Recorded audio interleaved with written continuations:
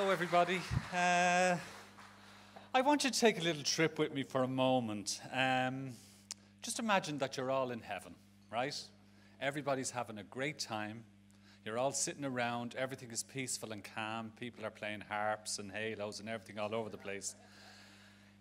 And then, in the middle of all that, there's a commotion over near the throne, and you see somebody kicking the shit out of God. That somebody who's doing that is me. And I'll tell you why. It's not that I'm anti religion or anything like that. I'm not. I'm just angry, and I have to be angry with somebody. Um, my mother got dementia about, oh, we started to notice it about five, six years ago, and she's bad now. My father died eight years ago, and things, she seemed to go downhill very rapidly after that. It took us a long time to know what was wrong with her, and we were floundering. And I'd love to, to get back to the heaven thing. I want to say to God, you took her husband, then you gave her dementia, then you've given her some cancer as well, just for a laugh. I'm going to say, do you think that's funny that you would do that to somebody that doesn't deserve that, somebody that, had a, that deserves a better end to their life? Um, as I said, my mother got dementia um, about five, six years ago. We noticed these weird changes. And as a family, we we were floundering. We just didn't know what to do. We brought her to doctors, and then the doctors were saying, oh, now we'll have to send her to the geriatric unit out in Vincent's to get tested. And to do that, you had to get an appointment, which was six months in advance. Um, so there was all, and all the time she kept getting worse. Now, there were very funny things in it. Um, I mean, I, the, when she was funny, she was hilarious. Um, I remember one time we took her to Marks and Spencer. She always wanted to go to the same places. So she'd go, she always wanted to go to Marks and Spencer's in Grafton Street for our lunch upstairs. And the staff there, I'll never forget their kindness to her. They used to come over to the table. They knew there was something wrong. They could see a deterioration, but they used to say, Oh, hello, madam, how are you? You look wonderful. And she'd look in bits, but she'd say, You look, and so she was saying, Oh, she was delighted with that. Um, and there was a cleaner in Marks and Spencer's who used to come over to us every day, every time I was in there, three times a week with my mother. And she talked to me. She was a fan of Mrs. Brown's Boys, and she'd chat to me and she'd say hello to me mother.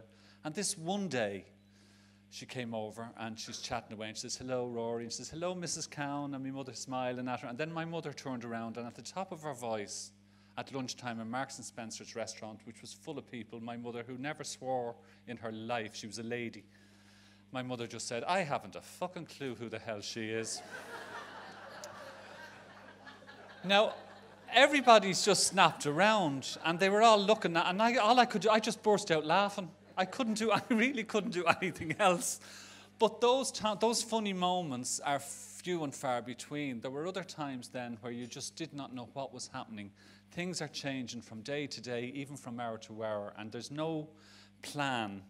What makes me angry is God forbid if you got cancer or if you got anything else. The minute you're diagnosed, from the time you go to your GP, there's a set program of what you've got to do and what treatments you have to get and where you go. With dementia, it's like there's nothing, they, they, they don't know what to do. They don't know where you've got to go to. We had terrible trouble getting care for my mother. I didn't, I, because she was the first woman in our family to get dementia, so I, we didn't know anything about it. And people are very kind and they will say, oh, we, we try and get this and we'll try and get that. But in the meantime, my mother's getting worse and worse. Um, so eventually I went to the, I just thought, there's something wrong here. We didn't know she had dementia. We just knew that she was, wasn't caring about her appearance and she was wearing the same clothes every day and she was going to bed in the same clothes. And it wasn't, my mother was a lady. She was always took very, like, great care in what she wore and how she looked and in her appearance and stuff like that. And then we know that was a big sign that there was something seriously, seriously wrong here. It wasn't just her being forgetful, it wasn't her just asking the same thing over and over and over again and driving us all mad. But so eventually I went down to the HSE doctor in Dundrum and I said, There's something wrong and I don't know what to do. And they came up and they said, Okay, we've got to organize this, we've got to organize that. And they said, um, eventually, I'm skipping all over the place here. Eventually, they told us after taking her to Vincent's that she had dementia. Then things started. He said, okay, now you're entitled to some care. Um, and the care was great. Um, I can't, that's why I'm angry at God. I have to be angry at somebody. I can't be angry at the, the doctors. I can't be angry at my mother.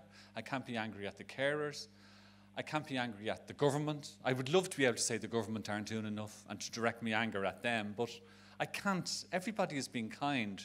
So I have to be angry at God because I'm angry at something, and that's the only thing I can be angry about, angry to. And I really hope there is a God, so as I can go there and smack the head off him when I meet him.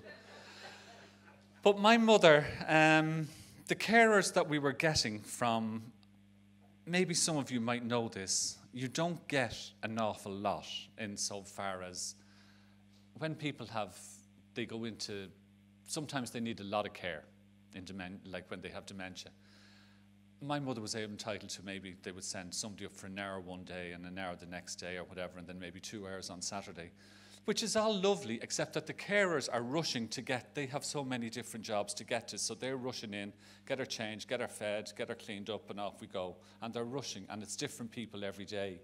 And that used to really upset my mother because she didn't know who was coming into her house, and she kept saying to them all, Get out of my home, get out of my home.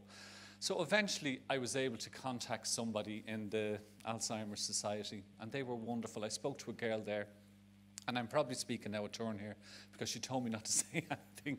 I rang them and I said, I explained the situation, and they said, Well, we'll go out and visit your mother and see what care she's entitled to. And I said, No, I want to pay for the care. I, can, I need to get somebody in, people in that can be there all day. And she said to me, well, this is a woman that used to work with us. Now, don't say anything. And here I am saying it in front of everybody. Don't say anything, she said, but this is a woman who used to work with us and she's left and she's gone into doing private care now. If you get her. And I said, Is she good? And she said, Well, put it this way if it was my mother, I'd want her to care for her. So I thought that'll do me. And I met this woman, and she was wonderful, and she was lovely. She was in her 30s, and she was fabulous. And she met my mother. The two of them got on like a house on fire. And everything was great until then she had to leave for family reasons. And through a lot of different things, I've eventually ended up with three carers for my mother from 8 in the morning till 9 at night. And she's got wonderful care.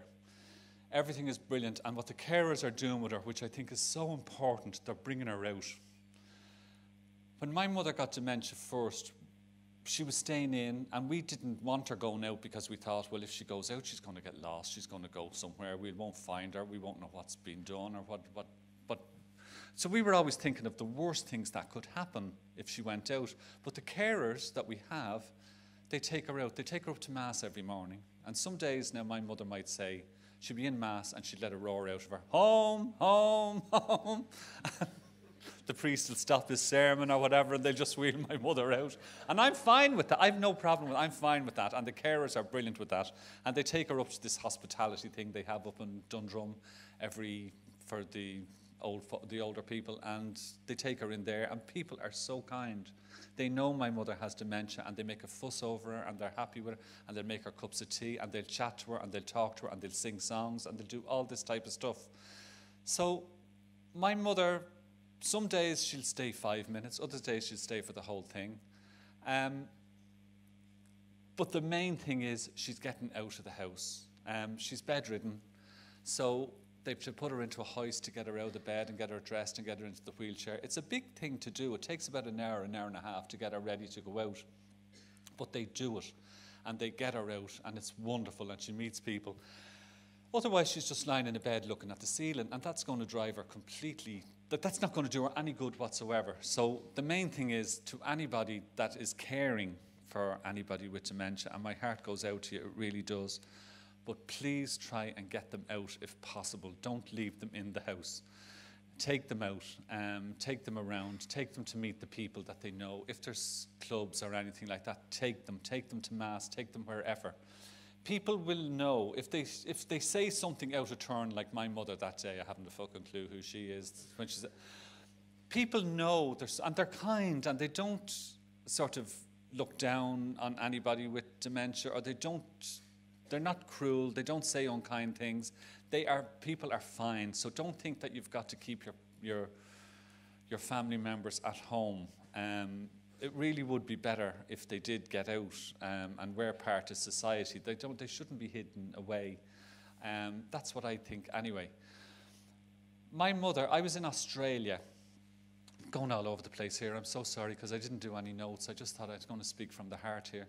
I was in Australia touring with Mrs. Brown's Boys in January, and I was together on the other, side of the world, and I got word that my mother had days to live.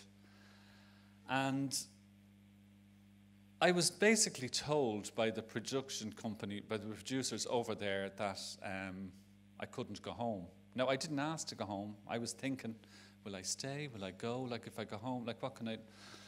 But they said, you can't go home because if you do and your mother doesn't die, if people in the audience, um, of the audiences while you're away, if they demanded their money back, you'll have to pay for every seat, full price for every seat. And that could have worked out at hundreds of thousands of dollars if people, if there were enough people decided they weren't paying. Every seat was $150, so that's the way it was. So I couldn't come home. They said to me, for insurance reasons, anybody could say, oh, my mother's not well, and off they could leave a tour. But if they said, so you can't go, if she dies, by all means, you can go home and, come, and then come back. And I, oh, Christ almighty. But my mother rallied round, and then and we were in New Zealand in March. I got word, oh, she's dazed. She had to have a stroke. And I thought, oh, please, ma'am, just hold on for another 10 days. I'll be home. Excuse me. Oh. She rallied round again, and I got home. And this has happened every month since March. I've been told, I was, in, I was filming the Christmas specials, Mrs. Brown's Boys, last week, and I was told she's back in hospital, she's out there having a stroke. And they keep saying this, and she hasn't had a stroke. All that's wrong with her is when she tries to speak, she gurgles. She would go, she can't make the words. And they think, oh, she's out there having a stroke. And then they do the test, and they come back and say, oh, no, she didn't have a stroke, it's just something else. So I'm on this roller coaster at this stage, my mother, I keep being told she has days to live, and then she rallies round. And if you have any other disease or any other illness, you can get treated immediately. And there's great care for everybody. Um, they, there's a system of what needs to be done. But it kills me that there's nothing for dementia. It's everything can change by the hour, every hour. And you, do, you don't know what's coming, you don't know what to expect. And if anybody else is like us, we are floundering, we are all over the shop. We don't know what's going on with my mother. I went up to visit her today, she was in great form. I went up to visit her yesterday, she was in terrible humour. I went up to visit her on Saturday, and she, she looked straight through me, she didn't know who I was. And then other days she'd look at me and she's big smile on her face, and she'd go, nah, and but I don't know what I'm trying to say here, except that she's in good humour when she's out, when she's brought out. My sister brings her into town on the Luas. It takes her an hour and a half to get her ready, puts her on the Luas, brings her into town, wheels her around Stephen's Green, puts her back on the Luas, and comes home again to Dundrum. And my mother is in great form with that. The carers are putting on music for her um, of old songs that she likes, and she's trying to sing along. She's in great form if she gets out. I find that when she doesn't get out, when the weather's not so good and she's at home, she seems to go more into herself. I can say the same thing to my mother every day, and it's like the first time she's heard it.